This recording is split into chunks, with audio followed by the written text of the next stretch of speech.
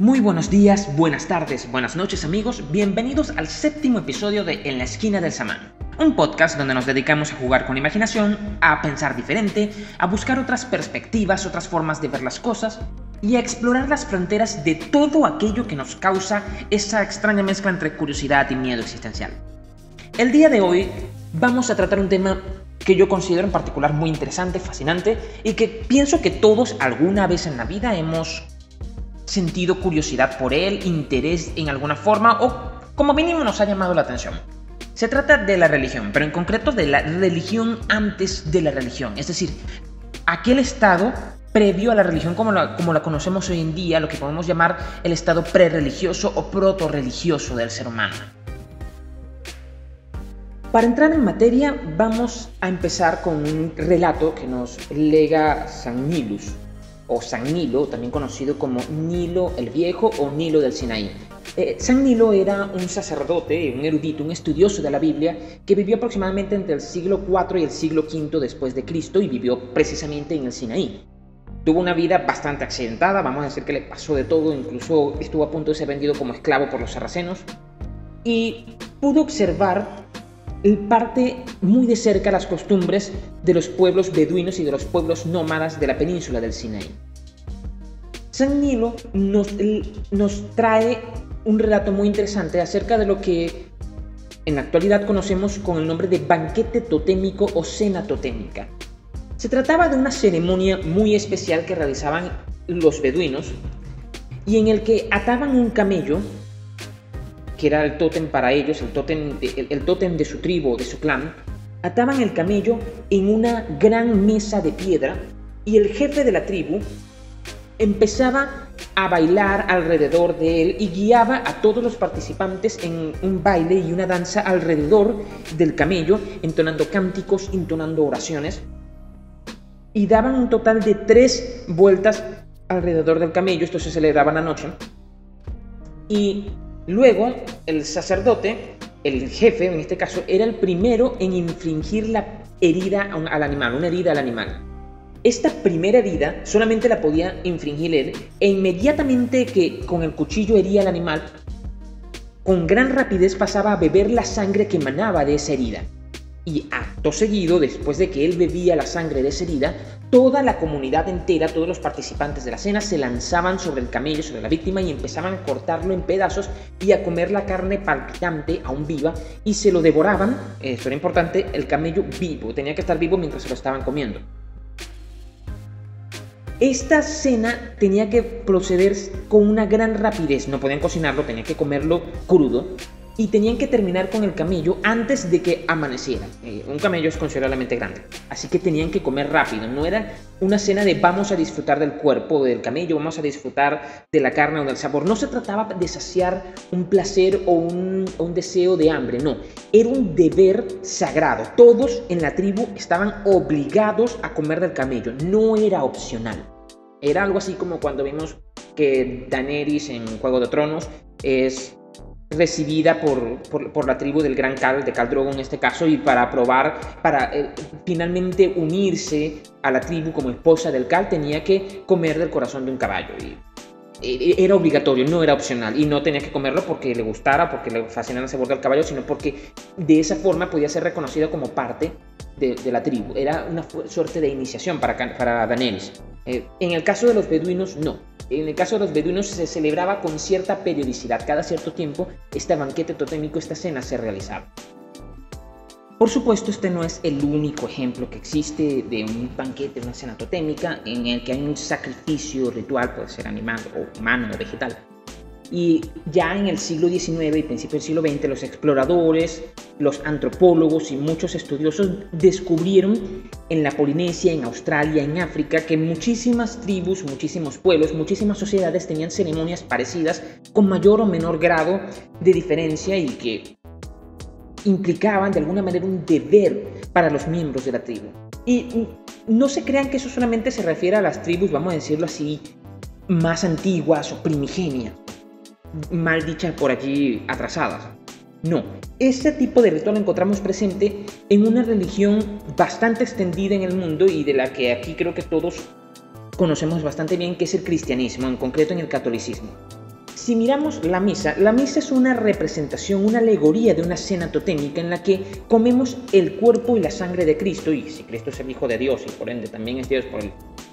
por el, por el principio de la Trinidad, estamos comiendo directamente del cuerpo de Dios. Es un sacrificio divino, un, sacrificio, un elemento en el que sacrificamos a la deidad y la devoramos para hacerla parte de nosotros comemos el cuerpo de Dios, comemos el cuerpo de Cristo y de esa manera nos volvemos de alguna forma hermanos en Cristo, hermanos en Dios, hermanos en la comunidad de la iglesia como tal, que se basa en este sacramento, el sacramento de la comunión, en el que todos juntos nos convertimos en una sola, en una iglesia. Esto es en el fondo una, una cena totémica, simplemente que está desplazada de forma simbólica y ya no comemos el, el, cuerpo de Cristo directamente a, través de picar su cuerpo o un sacrificio humano, sino que representamos este cuerpo en la hostia consagrada que el sacerdote consagra durante la misa y asimismo bebemos su sangre simbólicamente al beber del vino que el sacerdote consagra también como sangre de Cristo durante la misa. Es un acto simbólico en el que Obviamente, por supuesto, el, el, vino no es sangre y no es mucho menos es la sangre de Cristo y la hostia no es sangre, no es carne y definitivamente no es la carne de Cristo, pero es un acto simbólico en el que depositan todos, todos los miembros de la comunidad depositan sus energías y su creencia en ello, vamos a decirlo así, esta energía social que ya habíamos hablado en episodios anteriores del podcast, y de alguna manera, a través de este acto simbólico, de este ritual, sellan su vínculo como miembros de la iglesia. Es un banquete totémico en realidad. La misa, el objetivo central de la misa, siempre es la representación de esta cena que, al igual que hacían los beduinos y que hacían los demás pueblos del África, del África Central, de Australia y de la Polinesia, debía realizarse con periodicidad para mantener vivo el vínculo, el, vínculo con la iglesia y con la comunidad de la, religión, y en este caso con el pueblo. Ahora, lo que queremos hacer en este episodio es algo más interesante. Ya, vimos esta relación entre, entre, entre la, la, cena totémica de las tribus antiguas, de las tribus más primigenias o más originarias, y la cena totémica simbólica representada en la, en la misa cristiana. La pregunta es, que, quiero hacerle, que quiero hacer en este podcast es acerca del origen de la religión, de este carácter religioso del ser humano y a través de la cena totémica, de la institución de, la institución de la cena totémica, de este sacramento de la comunión, explicar el origen posible que pudo tener la religión en el mundo. Y la pregunta viene porque el caso es que parece ser que la religión es un fenómeno aparentemente universal. O sea, miremos alrededor, parece ser que a donde quiera que miremos en el mundo, no importa la época, parece ser que todos los pueblos tienen una religión, una creencia en un ser divino, una serie de mitos y de relatos que explican la creación del mundo. O sea, la religión consiste más o menos, a grosso modo, en eso, una concepción del mundo basada en un mito de la creación, un mito que explica el origen del ser humano y el, y el final del ser humano, el origen del mundo y el final del mundo, que explica cómo debes comportarte con tu comunidad y cómo debes comportarte con el resto del mundo. Es decir, es una institución que lo abarca todo y que trata de explicar cada uno de los aspectos de la existencia y de regular no solamente no solamente nuestro pensamiento, sino nuestra práctica en sí. Es decir, la religión viene con una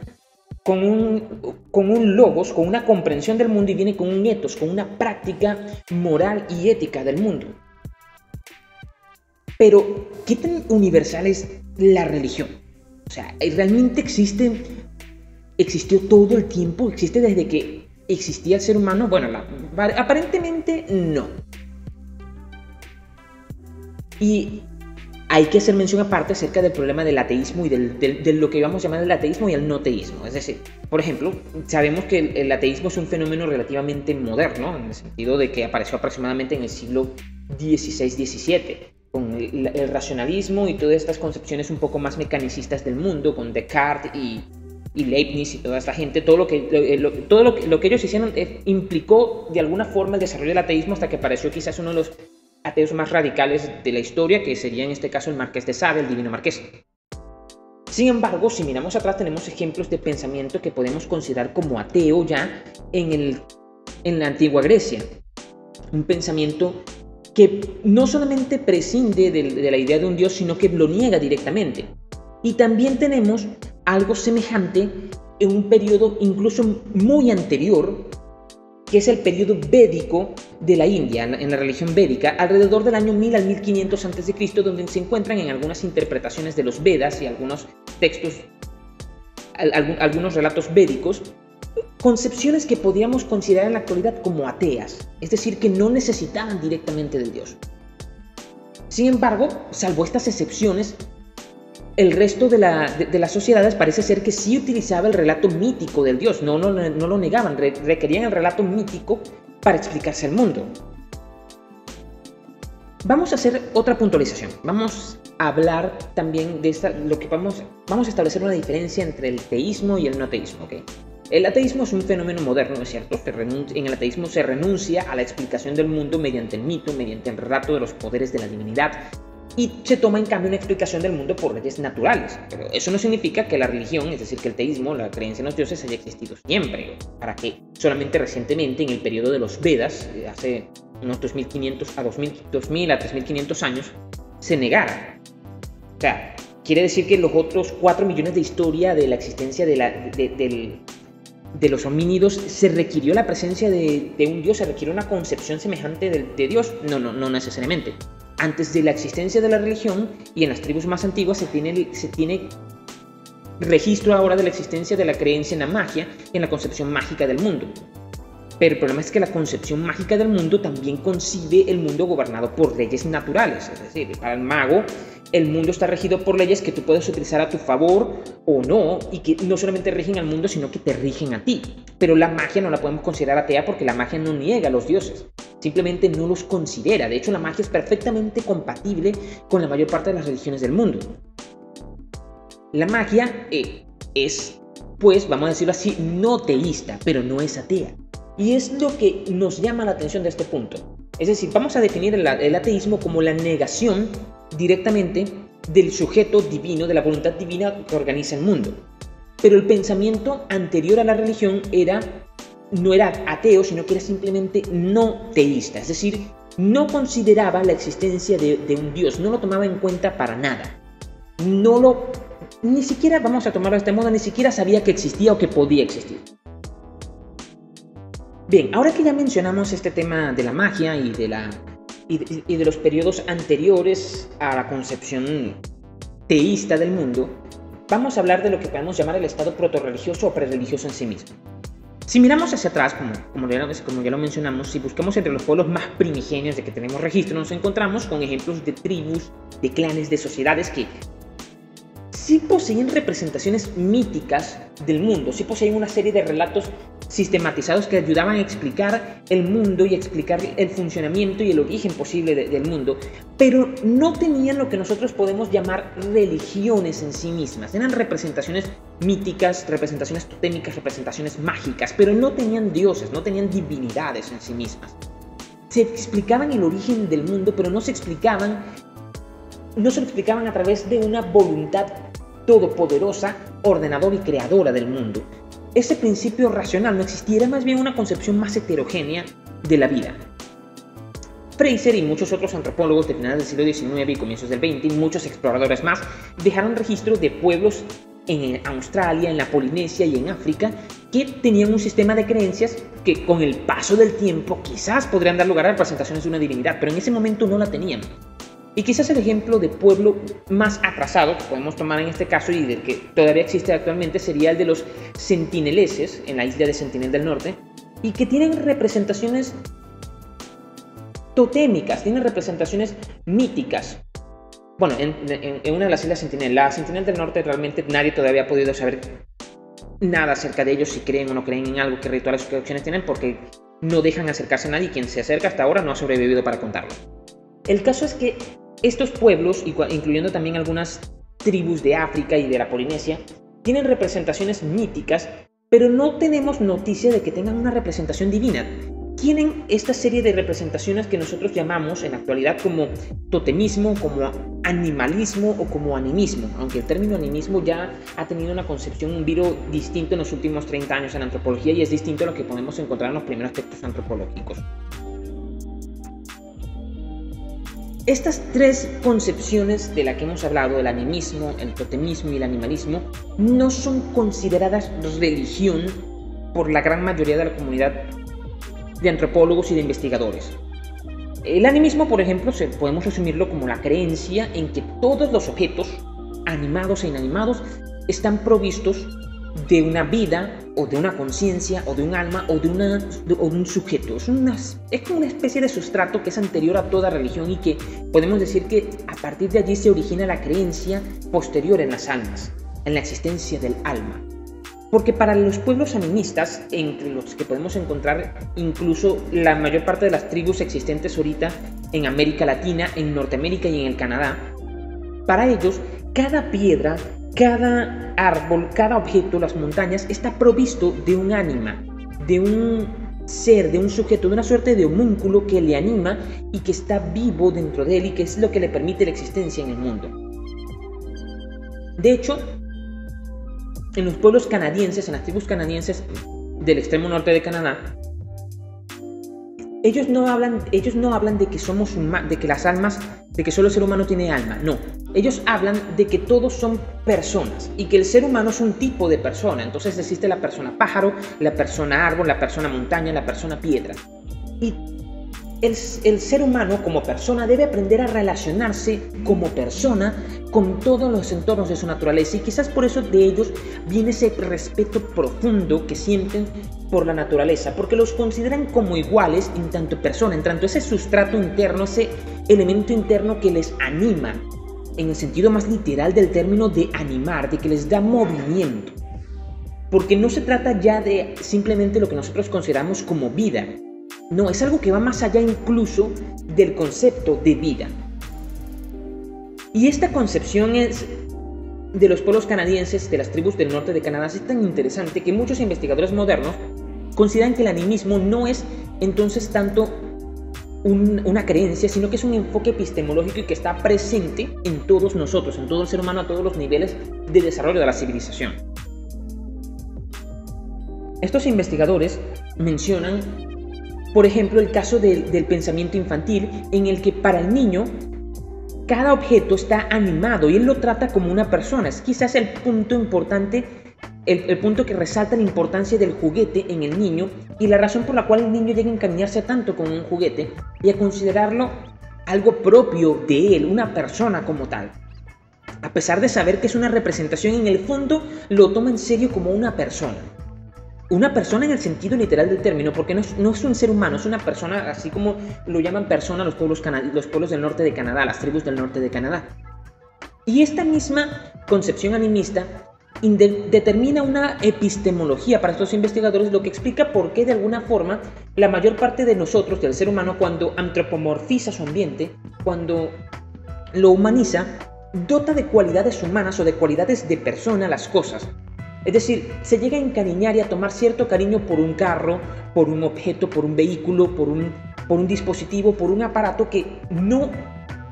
Para el ser humano no es un simple objeto reemplazable ya, sino que está dotado de una carga de persona que, le ha, que ha puesto sobre él implícitamente. Por supuesto, en la vida moderna esto ya no está tan, tan, tan presente, eh, porque de alguna manera la concepción mecanicista del mundo ha impuesto que todo se ha considerado como una herramienta, como un, como un objeto vacío, pero no deja de estar presente como una reminiscencia de esa concepción de animista de persona, el hecho de que se toma cierto cariño por el objeto en sí, sería una cierta reminiscencia de eso mismo.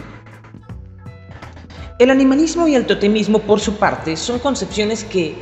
están de alguna forma ya superadas o dejadas atrás en la mayor parte de las, de las sociedades de las civilizaciones modernas. El totemismo podemos considerarlo en esencia como la creencia en un alma colectiva, en el que todos participamos de alguna forma de esa alma. Cuando pertenecemos a un tótem, nosotros no simplemente consideramos que somos miembros del clan por el tótem, no solamente funciona como una forma de identificación de la comunidad, no de alguna forma el tótem es lo que nos da vida a, los seres humanos. Fraser relata en este sentido la historia de algunas tribus del norte de África en el que para ser miembro del clan como tal, para participar del tótem, para participar del clan tienes que ser miembro del tótem y eso significaba que tu,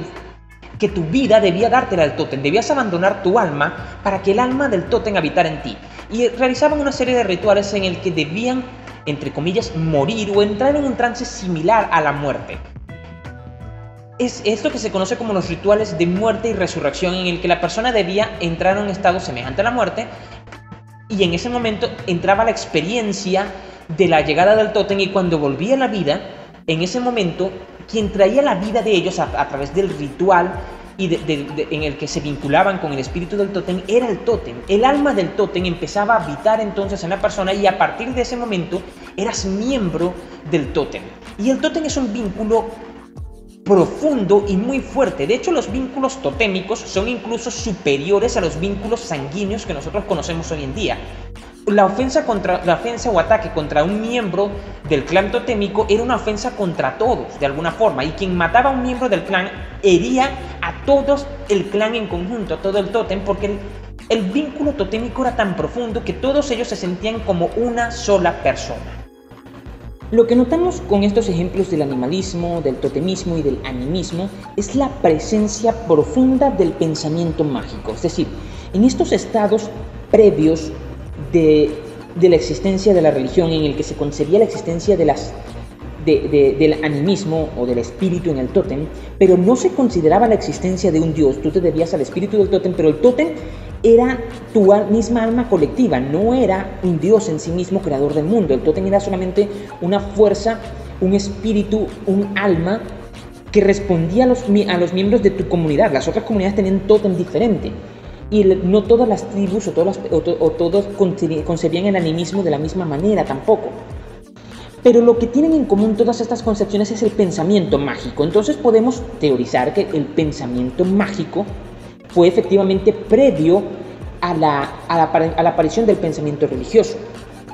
Y para eso vamos a hacer un ejercicio de imaginación también un poco más interesante. Porque estamos imaginándonos para estos casos que estamos entre tribus, entre sociedades, entre hombres, entre familias que viven de la casa y de la recolección. No existe todavía la agricultura, no existe el asentamiento. Vamos a imaginarnos que somos como los sentineleses y que ni siquiera conocemos la idea del acto de dormir en una casa o en una cueva. Vivimos en el suelo, como los sentineleses que duermen en el suelo y si acaso se cubren con una pequeña cobertizo de hojas que construyen al momento de dormir. Para este tipo de tribus no existe un arraigo con el suelo, con la tierra. Ellos viven de forma nómada, recorriendo constantemente todo y recolectando comida del suelo o del suelo, de algunas plantas, de animales que consiguen por allí. De hecho, presumimos que en los primeros tiempos de cazadores recolectores, la mayor parte de la proteína que podemos consumir los seres humanos, en vista de que no podemos competir con otros depredadores, era a través de la a través de encontrarse animales ya muertos por incendios o por restos de otros animales que los cazaron y los mataron, o porque los animales enfermaron y murieron, o por accidentes, ese tipo de cosas. Es decir, éramos en cierta forma también carroñeros. No teníamos quizás la habilidad para conseguir esa carne tan seguido como quisiéramos o tenemos que competir con otros elementos, con otras especies, con otros animales. En ese punto sabemos también que el vínculo de familia no existía. De hecho, de, de hecho Fraser menciona un relato bastante interesante de una tribu australiana que ellos concebían que el, tótem les daba vida a ellos en el sentido de que cuando una mujer pasaba cerca del lugar de un árbol, de un bosque, de una roca donde el tótem habitaba, en ese momento el tótem observaba a la mujer y escogía a esa mujer para encarnarse en ella, se metía dentro de la mujer y en ese momento la mujer empezaba a tener, a, tener un hijo en su interior, a crecer, la mujer será embarazada y paría y daba luz a un niño que en este caso era miembro del, era miembro del tótem, pero el tótem que le correspondía al niño era el que se encontraba en el momento de la concepción cerca de la mujer. cuando la mujer pasó cerca de algún árbol o otra cosa. Es decir, la mujer en este caso, haciendo memoria, iba a determinar de dónde nacía el tótem del niño. Pero este relato nos trae algo muy, muy interesante y es que si somos observadores, notamos que esta tribu australiana no era consciente no más mínimo que el acto sexual y el acto reproductivo estaban relacionados. Para ellos el acto sexual era una cosa y el acto de la reproducción estaba relacionado a un elemento mágico distinto. Ellos no sabían que el sexo traía como consecuencia la aparición de nueva, de nueva vida. Este acto de crear vida era atribuido al tótem al espíritu, a las ánimas que habitaban en el mundo exterior y que escogían al ser humano para animarlo. Y escogían a una mujer para introducirse dentro de ella y luego hacer que la mujer diera luz a un, a un ser animado más que en este caso era un ser humano. Es decir, estas tribus eran como niños. Y literalmente eran como niños. Y ahí vemos que el pensamiento del ser humano evolucionó a lo largo de la historia de la misma forma que el pensamiento de un niño evoluciona a lo largo de su crecimiento. Es, lo que llaman algunos investigadores, algunos pensadores y filósofos como la relación entre la ontogénesis y la filogénesis. Es decir, la ontogénesis es el génesis y desarrollo del ser y la filogénesis es el génesis y desarrollo del, del género. En este caso, el génesis y desarrollo del ser corre paralelo al génesis y desarrollo de la especie, del pensamiento de la sociedad, en este caso, del ser humano. Y si los niños desarrollan un pensamiento mágico y animista, entonces es dado pensar, en vista de que hemos encontrado numerosos ejemplos, de que los seres humanos más primigenios, más antiguos, desarrollaban un pensamiento como mínimo semejante. Y los ejemplos que hemos encontrado hasta ahora corroboran esta, esta interpretación. Entonces podemos decir, por eso quizás, que estos primeros tiempos, vamos a situarnos, por dar un ejemplo, en el 30.000 antes de Cristo, estos primeros seres humanos estaban en la infancia de la humanidad. Este estado primario de la humanidad es entonces un estado mágico, un estado animista, y que con el paso del tiempo quizás el animismo trajo como consecuencia la creencia en el tótem o la concepción totémica. Para el pensamiento mágico, el pensamiento mágico tiene la característica de que asigna al mundo exterior el orden interior del ser humano. Es decir, el pensamiento mágico, ya lo hemos discutido en el episodio sobre magia y lenguaje, con, asigna las relaciones entre objetos en el mundo exterior, las mismas relaciones que existen entre pensamientos en el mundo interior, en el mundo del sujeto. Entonces, podemos decir que así como el niño tiene la impresión, asocia a todo con él mismo y el y si el niño proyecta sobre el resto del mundo cuando elabora sus teorías acerca de cómo el mundo funciona, buscando, tratando de explicarse el mundo, tratando de ordenarlo, le asigna las relaciones internas de su pensamiento al mundo exterior. Entonces, este principio infantil de de antropomorfización del mundo es quizás el origen de la civilización en sí misma, entendiendo la civilización como la tendencia del ser humano no a adaptarse a su medio, sino de adaptar el medio a él, de antropomorfizar su ambiente, de humanizarlo, sería el término quizás más adecuado. Ahora, en estas primeras representaciones del mundo, en estas representaciones antiguas del mundo, que vamos a situar aproximadamente en el año 30.000 a.C., no 10.000, el año 10.000 quizás es un poco temprano para nosotros, como la película, el año 30.000 antes de Cristo. Estas, en estas primeras representaciones, lo que es la magia y lo que podemos considerar ahorita como religión eran una y la misma cosa quizás. ¿Ok? Incluso también para el pensamiento reciente, quizás en el año 12, en el año 12.000 antes de Cristo, cuando se data la primera, la aparición de las primeras de, las primeras templos y religiones de las que se tiene registro, el pensamiento mágico y el pensamiento religioso eran una y la misma cosa. También podríamos decir que la religión surge realmente como un subproducto de la magia y sobre todo de las dificultades que tenía la magia de tratar el tema de la muerte, que juega un papel fundamental en el pensamiento mágico y en el pensamiento de los hombres primitivos. Entre esas primeras representaciones mágico-religiosas del mundo, entra el problema de la muerte porque para el salvaje, como diría Fraser, es decir, para el primitivo o para el, hombre antiguo, el hombre, e, e, ese primer hombre, ese, hombre infantil de, los primeros tiempos de la humanidad la muerte no era concebible. Para él, así como para el niño, lo natural es que las cosas estén vivas. De hecho, por eso el niño y el primitivo asignaban a la naturaleza el carácter de animado. Para ellos todo estaba vivo, todo era persona, todo era sujeto y lo natural era el estado de, de lo vivo. La muerte no era comprensible. Y quizás la religión surge entonces a partir de los primeros relatos o mitos establecidos para explicar qué ocurría con el ser humano en el momento de la muerte, porque a diferencia de otros, de, otros animales, el ser humano es en cierta forma consciente en todo momento de la muerte. Y lo inexplicable de la muerte para el ser humano en aquel momento tiene que haber generado una gran consternación y una profunda duda y tiene que haber causado un gran, una gran una gran fascinación por el ser humano para explicar qué ocurría con la muerte, por qué, por qué moríamos, a dónde íbamos, qué pasaba, o sea, cómo es eso de que un día estás moviendo y de golpe dejas de moverte y tu cuerpo empieza a descomponerse. ¿Qué pasaba contigo en ese momento? Es decir, incluso en la actualidad, donde el ser humano se ha abocado ya definitivamente a, a su impulso por entender y comprender el mundo, si incluso en la actualidad la muerte no es comprensible para el ser humano con todo el avance de la ciencia, imagínense quizás lo fascinante y lo extraño que debe haber sido para estos primeros hombres, para esta primera mentalidad del ser humano, concebir qué era la muerte y por qué pasaba, por qué tenía que pasar. En la actualidad nosotros concebimos la muerte quizás como un destino inevitable hasta ahora, y sigue siendo una hipótesis, de la segunda ley de la termodinámica del principio de entropía del universo. A medida que el universo va degenerando ya no es posible de alguna manera mantener el mismo estado previo y la degeneración se concibe como una ley natural del universo. Y sin embargo esta hipótesis no llega a satisfacer realmente la, la, la, concepción de la muerte que tenemos en la actualidad o que podemos concebir respecto a la muerte y no llega ni siquiera a explicar entonces la muerte con respecto a la vida y la vida con respecto a la muerte.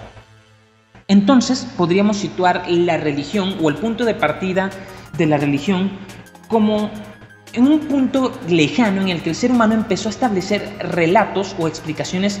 míticas acerca de lo que ocurría después de la muerte. Porque obviamente para explicar la vida no necesitaban esta, no necesitaban esta concepción. Las teorías acerca del origen de la vida aparecen muy posteriormente. O sea, las teorías acerca del origen de la vida relacionadas a la religión. Ya hemos visto que, por ejemplo, la concepción totémica o animista no necesitaba una explicación del origen de la vida porque la vida era considerada tan natural, tan evidente para el ser humano en aquel tiempo, que no era necesario buscar una forma de explicarla, era lo que debía ser. Todas las cosas para ellos estaban dotadas de un ánima, de un ímpetu, de una energía, de una vida, de una conciencia. Incluso las piedras, las montañas, la naturaleza, todo estaba animado de ello. Entonces era natural la cuestión, era natural el estado de la vida. Lo difícil era concebir qué pasaba después que la vida terminaba. Y para eso se establecieron toda una serie de explicaciones míticas que quizás con el, con el paso del tiempo dan origen al problema de la religión. Con esto ya tenemos una posible causa entre de la necesidad de explicarse el mundo y de las razones por la cual el pensamiento mágico y las concepciones totémicas y animistas no eran suficientes para el ser humano para explicar qué ocurría con el resto del mundo. Es decir, la teoría que se establecía en aquel momento, la concepción del mundo que tenían, la epistemología que tenían para concebir, la, para concebir el animismo, el totemismo y la magia y el animalismo, no bastaban al ser humano, fallaban en el punto de explicar el problema de la muerte. El problema de qué ocurría después de la muerte o de por qué ocurría la muerte. No había una explicación, la teoría se rompía en ese punto y la, necesidad de explicarse eso, en vista de la necesidad del ser humano de antropomorfizar su ambiente, de proyectar sobre el resto del mundo sus, sus ideas, necesitaba ahora una nueva concepción. Esta nueva concepción la podemos encontrar quizás en el comienzo del totemismo en sí mismo. Los orígenes del totemismo de los que Freud tiene una teoría bastante interesante, son bastante oscuros en realidad. No tenemos una prueba, no tenemos una, algo que nos confirme el inicio del totemismo como tal, simplemente tenemos una serie de teorías y de hipótesis que nos explican de dónde pudo haber surgido el concepto del tótem y las relaciones totémicas de los seres humanos. Nosotros vamos a tomar para este episodio del podcast la concepción freudiana que si bien es incompleta y por supuesto es bastante especulativa, es interesante y sirve a los propósitos del podcast de estimular la imaginación y, una forma de pensar diferente. Para Freud, el tótem viene directamente del padre. Y Freud se basa para esto en la concepción darwiniana del origen de las especies. Para Darwin, y vamos a hacer una especie de cambalache de autores en este punto,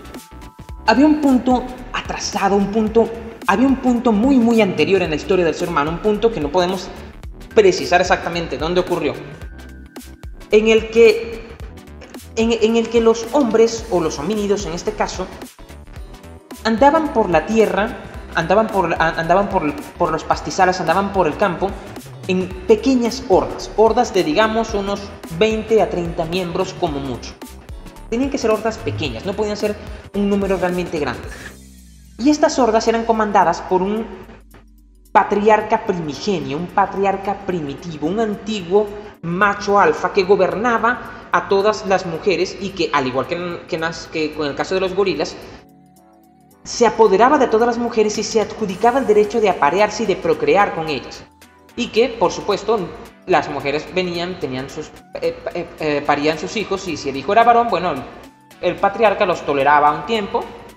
hasta que entraban a la adolescencia, a la pubertad y bueno, los expulsaba de la tribu, los mantenía a raya y el patriarca mantenía su, su fuerza y su dominio sobre la tribu a través de la fuerza bruta y de la violencia. Pero en este punto, la teoría freudiana establece algo interesante que es el problema de la ambivalencia con respecto al tema del patriarca, porque para el niño, en este caso para el niño humano, vamos a situarnos en este niño humano hipotético de hace 40.000, 30.000 o 50.000 años atrás. Por situar un número, escogen ustedes el que quieran. El niño nace directamente en esta pequeña horda, en esta pequeña tribu, alimentándose de lo que su madre y el patriarca recogen y van recogiendo a medida que van avanzando por los pastizales en su andar nómada o eran, o, en su pequeño territorio que iban recorriendo constantemente, alimentándose de bayas, alimentándose de hierbas, alimentándose de carroña, de vez en cuando atrapando algún animal que puedan matar como, como pequeños roedores y cosas por el estilo. El niño desarrollaba, por supuesto, al igual que lo sigue desarrollando ahorita, una cierta relación ambivalente con el patriarca. En la medida en, la medida en que va creciendo, siente admiración y aprecio por el, eh, por el patriarca, por el padre.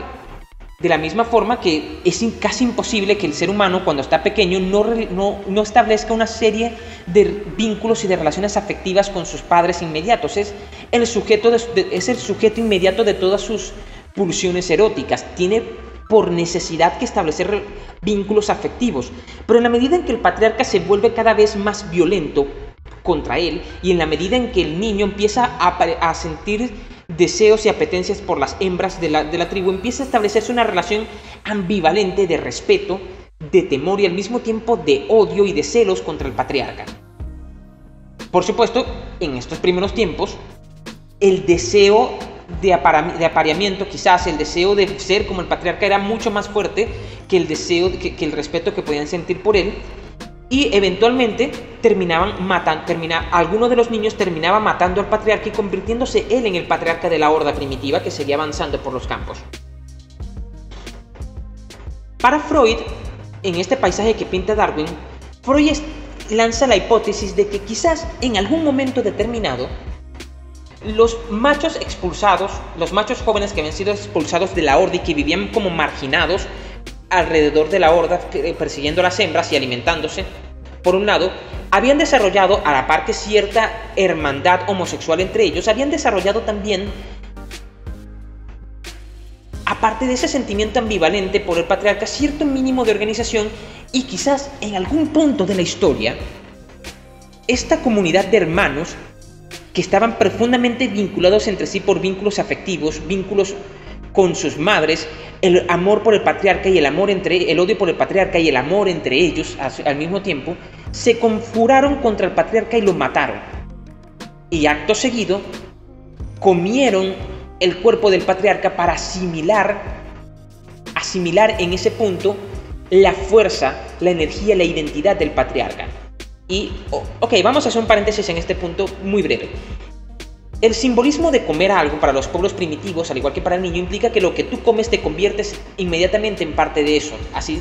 de esta forma se explicaba el problema del canibalismo en los, actos rituales, el canibalismo ritual, en el que solamente se comían ciertas partes del cuerpo, se comían solamente a ciertas personas en específico, líderes, sacerdotes, hechiceros, y el resto de personas en, las guerras eran ejecutadas o simplemente a veces solamente comían su corazón o su cerebro. Era porque de esa forma asimilabas la fuerza, de, la, fuerza o el carácter de la persona a la cual estabas devorando. Es decir, el acto de comer implicaba una identidad.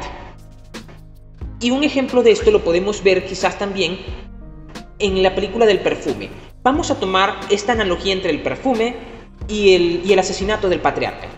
los machos vienen y asesinan al patriarca y en un acto de amor por el patriarca se lo comen. Esto quizás es difícil de comprender, pero es profundo y es muy cierto. Por ejemplo, se han retratado casos de machos, de leones machos que entran, por supuesto, entran una nueva manada, vienen y matan a todos, pero a todos los cachorros, pero el otro, el otro macho aparece y expulsa al macho que trata de introducirse en la manada, lo expulsa y luego este macho empieza a comerse a los cachorros, a sus propios cachorros que el otro león había matado, pero a medida que se los come, se los come maullando y llorando, rugiendo como con dolor. Es un acto muy extraño, pero ha sido documentado y hay videos de este, de este clase de eventos. De la misma forma, en la película del perfume, cuando el protagonista, el creador del perfume, llega a crear el perfume perfecto, finalmente se va a aquella parte remota y profunda de París y se rocía él por completo con, con el perfume que había creado y todos los que están a su alrededor fascinados se enamoran de él y es el amor que sienten por él es tan grande, lo desean tanto que quieren comerlo y se lo comen. Es decir, el acto de devorar, de asimilar, de convertir en parte de, de la persona, de, a la persona, aparte de la persona en él, es un acto en que está regido en lo más profundo por un impulso de amor también. Y podemos decir con eso que incluso el acto de besar es simbólicamente un mordisco atenuado. Es una alegoría del mordisco, del acto de comer a la otra persona y no por nada existe la frase comerse a, besos o algunas mujeres cuando hablan que un niño es tan tierno y tan atrayente para ellas, dicen que serían capaces de comérselo. Estas expresiones en el fondo están regidas por este mismo impulso primitivo y originario que encontramos en la horda primitiva en el momento en que, en la hipótesis freudiana, los machos jóvenes asesinan al padre primigenio, al patriarca primigenio, al tirano primigenio y al mismo tiempo que lo, que lo, que, lo matan, arrepentidos quizás, o guiados por la culpa y al mismo tiempo por los sentimientos ambivalentes de, de amor hacia el padre, se lo comen. Y de esta forma, comiéndolo, asimilan la identidad del padre. Es decir, el acto de matar al padre queda anulado en el momento en que ellos lo devoran y lo hacen parte de él. Es decir, si el padre había muerto, al yo comérmelo, él va a seguir viviendo dentro de mí. Y ahora el padre va a vivir siempre en todos nosotros porque todos nosotros hemos comido de él. Y aquí encontramos en este punto la identidad entre la cena totémica y la, la, y la misa. En este primer acto, de hecho, Freud llamó a este primer ataque, este primer acto de canibalismo como la primera cena totémica y que fue quizás la, el, acto, el origen primigenio, el génesis de lo que nosotros conocemos hoy como la misa. Y recordemos en esto que Dios es llamado Dios Padre en el cristianismo y que Dios es considerado nuestro Padre, nuestro Creador en ese sentido. Y nosotros, a través de la misa, estamos simbólicamente comiéndolo a Él pero solamente somos reconocidos como hijos de Dios, como miembros de la comunidad religiosa, en la medida en que participamos de la comunión. Y la comunión no es más que el acto en el que todos debemos comer del Padre y es un deber como miembros de la iglesia participar en la comunión, de la misma forma que era un deber como miembros del clan participar en el acto de devorar el tótem encarnado en el cuerpo de un animal. Es por esta razón que los vínculos totémicos, cuando entrabas a ser parte del tótem, eran tan profundos, porque eran, estaban unidos por un acto no solamente de la hermandad de, la hermandad producto de ser todos hijos del mismo padre, en la forma en que todos son hijos del tótem, sino que también es el acto compulsivo de dar muerte al padre. Y para Freud, en cada cena totémica, en cada banquete totémico, se hacía una alegoría, se hacía una celebración de ese momento original, originario en el que se mató por primera vez al padre primigenio. Y por eso tiene ambos caracteres la misa y ambos caracteres la cena totémica. Es un acto compulsivo, es un deber, es una obligación participar de la comunión de la cena totémica, es un deber comer del tótem, es un deber sacrificarlo, es un deber matarlo, pero al mismo tiempo es un deber cuidarlo, es un deber protegerlo. Y al mismo tiempo es un deber darle amor, es un acto de amor al mismo tiempo que un acto de culpa, de la misma forma que en la misa es un acto de amor por Dios y de, de, limpieza de nuestros pecados y, de, reconocimiento en la comunidad, al mismo tiempo que es un acto de reconocimiento de nuestras culpas. Tiene un carácter compulsivo, un carácter lleno de, lleno de ambivalencias y de contradicciones en la misa. Y es esa energía producida por esa contradicción la que crea y fundamenta la hermandad. Y al mismo tiempo, igual que en la misa, la, la cena totémica, el banquete totémico es una fiesta. Y muchas veces en estas fiestas totémicas estaba permitido romper todas las reglas, incluyendo las reglas del incesto que podían establecerse entre las, entre las distintas familias, entre los distintos miembros del clan. Podía romperse el incesto totémico y establecerse por fin relaciones sexuales incestuosas entre los miembros. Y era normal que en, las cenas totémicas terminaran en grandes orgías incestuosas. Esto, con el paso del tiempo, en el caso del cristianismo, fue sustituido por ese momento final de la misa en el que una vez que todos hemos comido del cuerpo de Cristo, una vez que todos hemos bebido de su sangre y que la cena totémica está finalizada, una vez que toda esa parte ha terminado, procedemos todos a darnos el saludo de la paz y abrazarnos como si todos fuésemos hermanos. Y tú abrazas a todos los, a todos los desconocidos que están presentes en la misa y efectivamente es tan fuerte el acto simbólico en ese momento que aunque tú no conozcas a la persona que está a tu lado, sientes que efectivamente eres su hermano en ese momento y que son todos miembros de una misma familia, de una misma sangre, de un mismo clan. Es de alguna manera la herencia, el simbolismo de, ese, de esa ruptura de todas las relaciones y de todos los tabú que se encontraban en el banquete totémico y que convertían al banquete totémico de ser un acto compulsivo, lleno de culpa, un deber para limpiarnos y para ser miembros del, del una vez que termina el acto de comerse al Padre, todos somos efectivamente hermanos y podemos romper los tabúes que gobernaban a la sociedad. De la misma forma que en el momento en que todos los hermanos mataron al padre primigenio, pudieron finalmente tener derecho de aparearse con las hembras que solamente el padre permitía para sí mismo. Y ese es para Freud el origen del ritual de la misa, del ritual del banquete totémico y de la mayor parte de los rituales religiosos en la actualidad. Y por supuesto, el origen, claro está, del concepto de Dios como Padre. Pero las concepciones de Freud adolecen de grandes limitaciones. Es una teoría bastante interesante, simbólicamente muy satisfactoria, pero no termina de explicar muchos otros elementos que aparecen después, como por ejemplo cómo pasamos completamente de la representación totémica del padre a la representación totémica en forma de animal, porque todos los tótems son en, su gran medida animales, a veces son, algunas raras veces son plantas o árboles y, otras y algunas que otras veces una roca, un lugar en específico o una montaña, pero casi siempre es un animal. ¿Cómo pasamos del tótem representado como el padre al tótem como animal? ¿Cómo pasamos en ese punto del sacrificio humano al sacrificio animal? porque efectivamente es cierto que las tribus totémicas consideran al tótem como su padre, pero no está claro cómo fue que pasó ese tránsito de un elemento a otro. Además, la tesis freudiana nos ayuda a explicarnos el origen del Dios como representación patriarcal, como representación del Padre que, que, rige sobre nosotros y que nos da origen. Pero el problema está en que la mayor parte de las concepciones religiosas primitivas de las que tenemos noticia establecen como primer inicio que el el, Dios creador de todo es un Dios femenino y un Dios mujer. La mayor parte de las tribus que conocemos, tienen, más antiguas, tienen concepciones de dioses femeninos y, y la, la concepción freudiana no nos da una explicación de las deidades femeninas o de dónde pudo haber nacido la deidad femenina, una génesis de la deidad femenina y de los rituales relacionados a la deidad femenina. Es por eso que a Freud a veces se lo acusa un poco de machista, aunque por supuesto yo pienso que Freud era un hombre de su tiempo. Acusarlo de machismo no habría tenido mayor significado. Pero es cierto que la concepción freudiana obvia por completo el problema de las deidades femeninas en este punto. Nos establece solamente un carácter, una teoría psicológica del origen o de la génesis, de la filogénesis de los rituales religiosos en torno a la concepción patriarcal de los dioses. Pero nos deja por completo abierto el problema en ese otro punto. Tenemos ya con esto una primera visión, una interpretación un poco más clara acerca de, la escena totémica y quizás también cómo engranarlo con el problema del origen de la concepción religiosa. La incompleta visión freudiana nos permite entonces entrever que quizás el carácter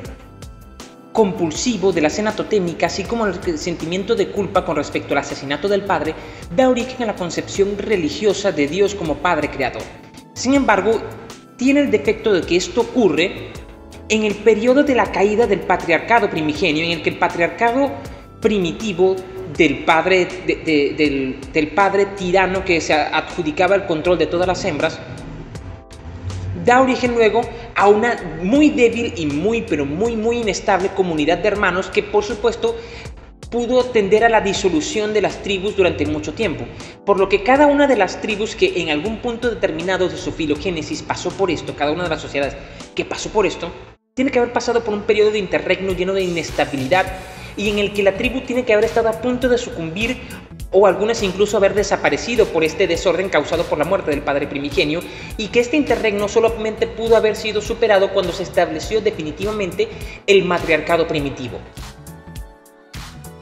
Pero sobre el matriarcado primitivo, lamentablemente, Freud no nos da noticia alguna al respecto y eso sería material para otro podcast realmente.